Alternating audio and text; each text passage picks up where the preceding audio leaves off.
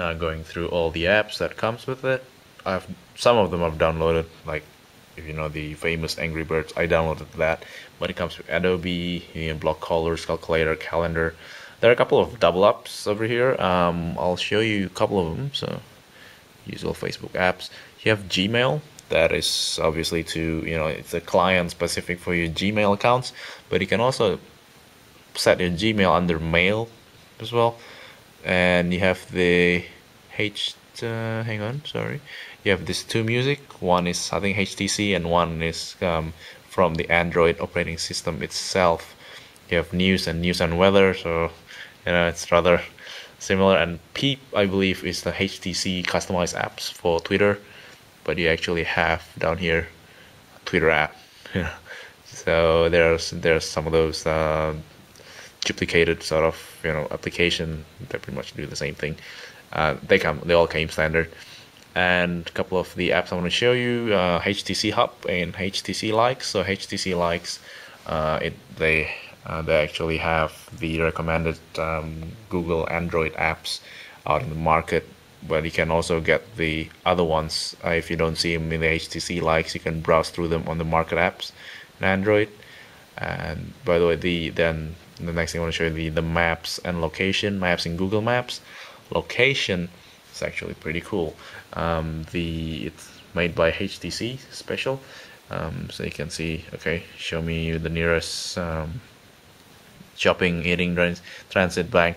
They're not that complete. Um, I guess um, from well, at least in where I am anyway, in Sydney City, the that's still not much uh, to see there uh, on on the list. I guess they're still working on it. And if you go back to the home page, let me show you this on my location.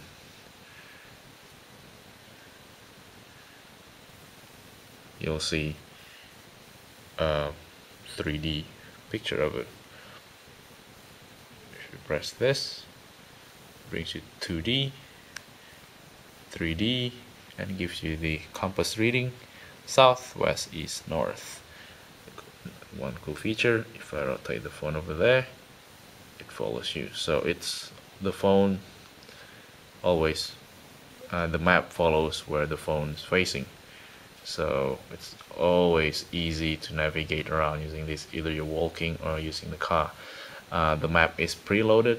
Uh, if you switch your memory card, then you need to download the map again uh, from HTC. You just need to pay data charges with your carrier. Uh, the only premium uh, service is that if you want voice guidance, otherwise everything's free. you can also use Google Maps. I think Google Maps navigation is still in its beta version. Still related to the navigation, there's an app called car panel. Press that. You have this nice six uh, big buttons to press. Destination phone footprints nearby history and settings. Self-explanatory self-explanatory. You can uh, get you uh, dial people from here. Just dial our favorite or recent call. You can go back. And then you can do destination footprints history. Okay all that and surprisingly enough once you are in this car mode I guess to avoid you from accidentally pressing all the buttons uh, none of the capacitive uh, buttons uh, work except search. Yep. Okay. Um, exit you gotta press that one that button exit out of there. Okay it also comes uh, with Teeter game I'm sure you've seen it if you have used a HTC phone before. So it's using your um, the accelerometer accelerometer of the phone itself. And I've just I've finished the game before. I'm sure a lot of you have. I finished it using my old phone. The battery life um, this phone if you use it quite frequently you you're gonna have to recharge it every night uh, the battery isn't that great um, a lot as in a bit of games you know a bit of web browsing. I'm not saying that I'm using it five hours continuously. I'm using it you know five minutes every hour or so or just a bit more than that. And because I've been playing around with it uh, for the past 24 hours I've charged it twice. Yeah, testing out the all, all the location apps, the the games, the web browser, the camera, the video. Yeah, the battery's drained. I think um, a lot of people say that too um, across the forums and reviews. Uh, let me know how yours fare though. Uh, this phone also comes with um, reader app. Um, with my model anyway, it comes with a couple of books.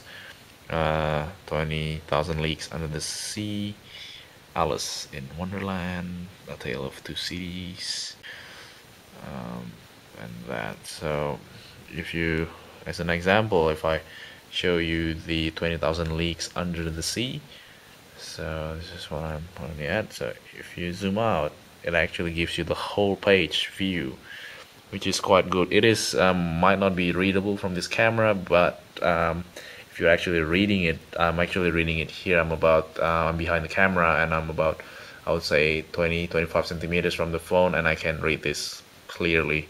And zoom in and then the, the text resizes it's in themselves inside the, to fit the screen, which is great. You can zoom even further like that. That's about as much you can get into zoom anyway. Another thing that I want to show you, uh, well, I can't really show you. I'm just going to talk about it. Is that the the use of this three and a half mil uh, millimeter uh, jack for audio. Um, I don't have that good of a pair of um, earphone anyway, so I can't really comment. But the quality is alright, I think, um, for a you know for a factory standard um, in uh, earpiece. It's the one that uh, so the one that came with a this phone they perform the job just fine I think it should be sufficient unless you're um, you know if you're you're really after high-end audio quality anyway talking about the speaker the quality of the speaker isn't that great. I expected better. The um, speaker phone quality also, also isn't that great. It's quite weak actually. Uh, I have um, I mean I have this old well cheap ass Nokia uh, phone that I got from work and man that phone is like $80 and the the quality of it's not great but it's so loud um, you can use it in the in the uh, you know um, in the middle of the city when everything's crowded. You can use it in your car when you wind down your window speeding in the highway you can hear clearly. With this phone it's just uh, it reminds me of my old HTC Touch Pro. Very little speaker grill and that appearance pretty much says it all. You know it's weak for such a high-end phone. Uh, quality is just okay but uh, uh, you know it it does the job if you're indoor but outdoor it isn't that great in my opinion. Uh, let me know if you think otherwise though. That's uh, been my take on HTC Touch Pro. I mean I, I haven't covered all the features um, obviously but I've covered what I uh, wanted to show you what I consider more important. Um, but do post you comments and questions uh, if you want me to cover a specific features and I can either uh, respond in comments or message or I can uh, create a video dedicated for it. Do let me know. Um, thanks for watching. Uh, don't forget to subscribe. Um, I'll see you later. Thank you. Bye